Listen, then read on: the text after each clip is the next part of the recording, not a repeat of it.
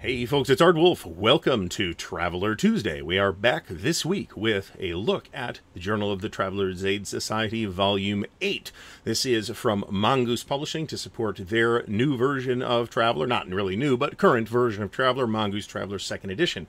So we've already taken a look at Volume 7. If you didn't check out that video, please do check it out. I may actually remember to put a thing in the thing uh, so you can go do that. We'll, we'll see if we remember to when this thing goes live.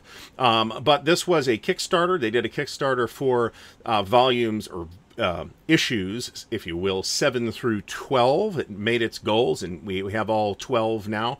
Um, there was a previous Kickstarter a couple of years ago for issues 1 through 6. We have already done a video flip through of the physical books there, so check those out if you are interested. Uh, but now we're looking issue by issue because then the videos are easier to digest, right, rather than taking an hour and a half to look through six things. And these are big. These books are big.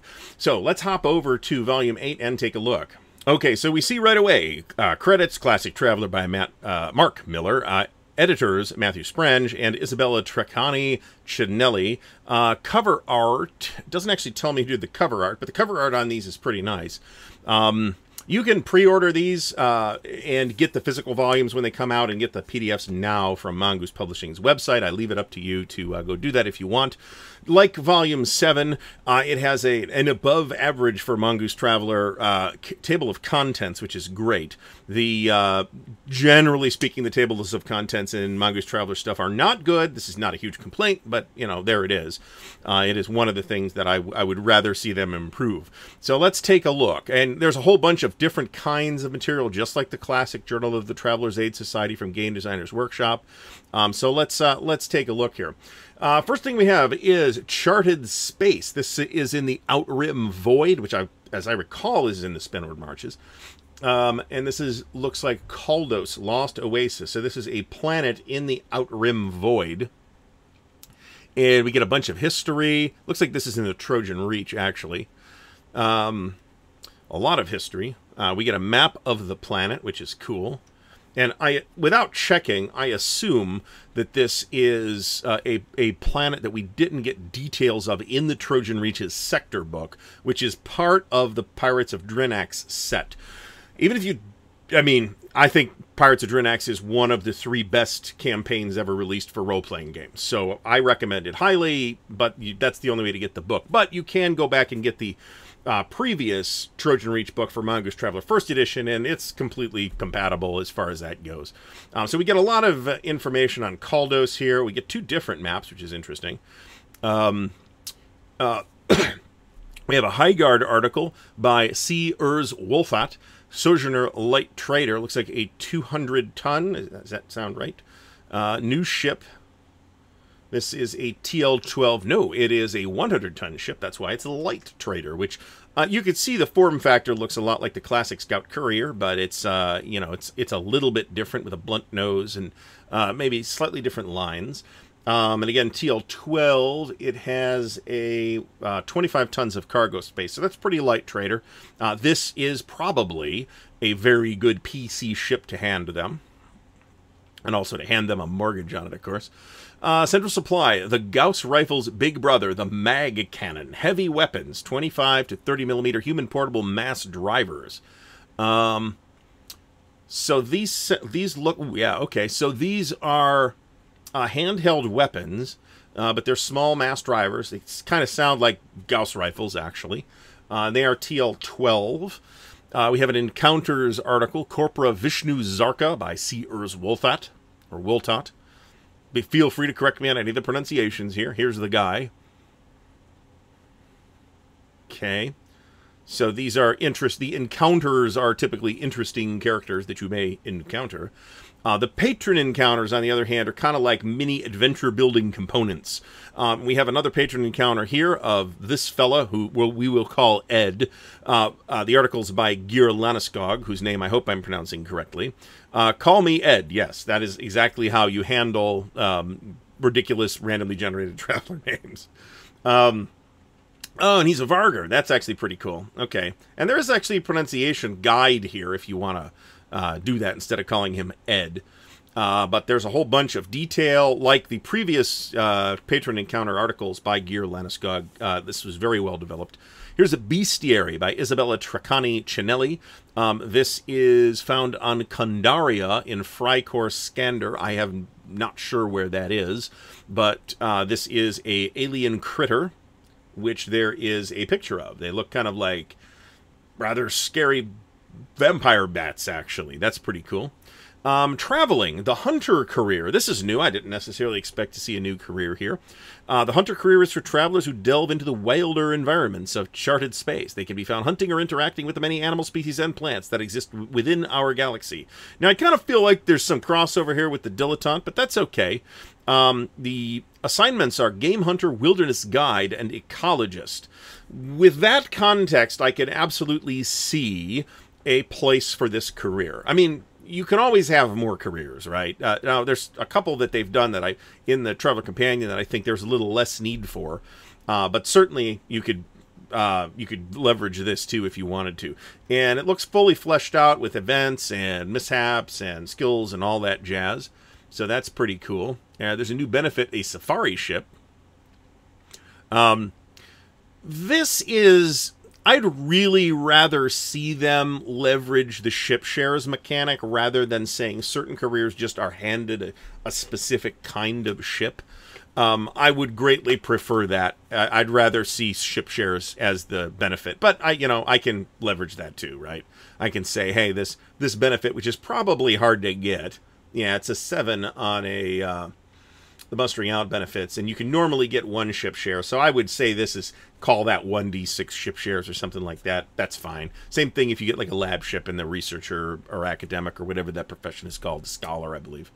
Uh, profession hunting skill. That's uh, uh, a, a, something you can certainly use. Uh, charted space Noricum violera. Uh, this is a plant found in the oceans and marshlands of Noricum in the Trojan Reach. So I, I, mentioned this in the last video. The Trojan Reach is so well developed at this point that I think it's just as well developed as the Spinward Marches. Um, and and the vast majority of that development has come at the hands of Mongoose Publishing, uh, and a lot of it is to support the Trojan, the the Pirates of Drinax campaign, which happens in the Trojan Reach but you know a lot of it can be leveraged regardless of what you're playing. Ah this is an a, a return of a classic adventure by lawrence schick and john harshman. I'd be curious to know uh, who did the conversion if it's one of those those uh, traveler veterans. This was one of the original double adventures uh, if, so i'm going to buzz through this uh, to not uh, uh, to not spoil it but there's a a whole big adventure in here uh, and it does look pretty big with a big map and whatever this thing is. It's been a while since I've read this scenario, so. Uh, okay, Central Supply. Here's an alien critter too. I do feel, and I'm going to probably say this more than once throughout the course of these videos, that there really is a need for a Traveller, Mongoose Traveller 2nd Edition Master Index, so that you can find all the critters and all the gear and all the planets and all this other stuff. Um, nobody has undertaken that substantial task yet. So, Central Supply by Veselin Matev, Omicron, the mythical weaponsmith. It looks like a mercenary weaponsmith uh, working at TL 9, 10, 11 so that's interesting. Okay, so basically more guns. Uh, High Guard talking about turrets. So here is an article about turrets for spacecraft. Uh, a new bestiary article, The Inshare, uh, by Isabella Tracani Cinelli.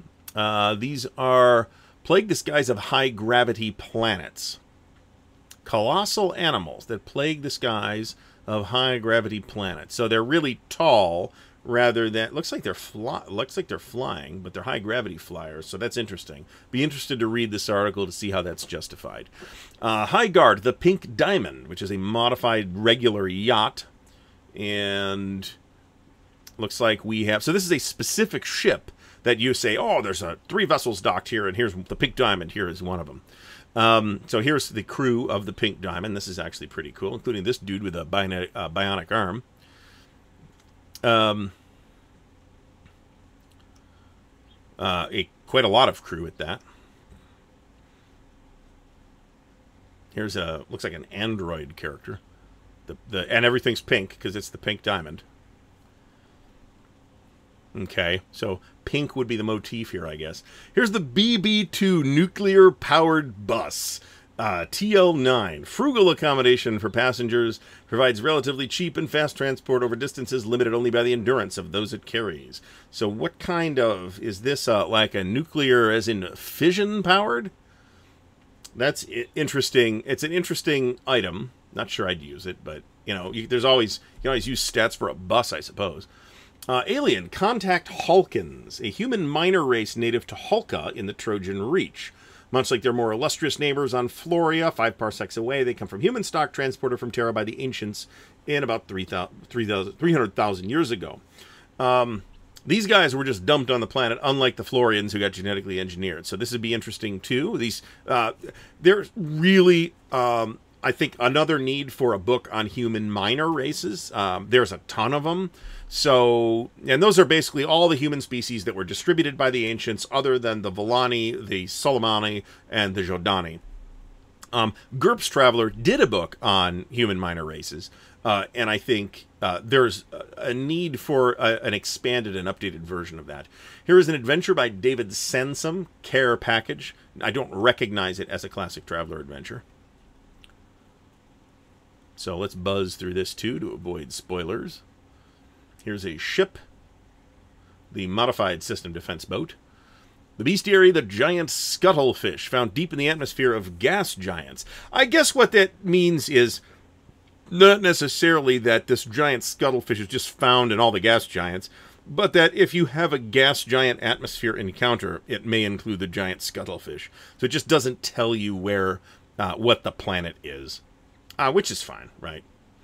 Uh, and we're at the end, actually, already. So this is 129, 130 pages. So it's a substantial book. There's a lot here. Can't wait to get the print versions of this. Uh, so, looks like this has been a look at Journal of the Traveller's Aid Society, Volume 8 from Mongoose Publishing for Mongoose Traveller's Second Edition. Looks like another solid issue. Very happy to add this to my already extensive Traveller library. Um, go ahead and check it out at Mongoose Publishing's website if you like. And thanks for watching. If you found this video valuable, please do give it a thumbs up. Please do help support the channel, and I'd like to give a special shout out to the patrons of Ardwulf's Lair, without whom this and other types of content would not be possible. Please do tune in for the Monday streams and for our new show, Classless Characters, which is an RPG show every other Sunday at 3 p.m. Eastern. Um, and until next time, happy traveling.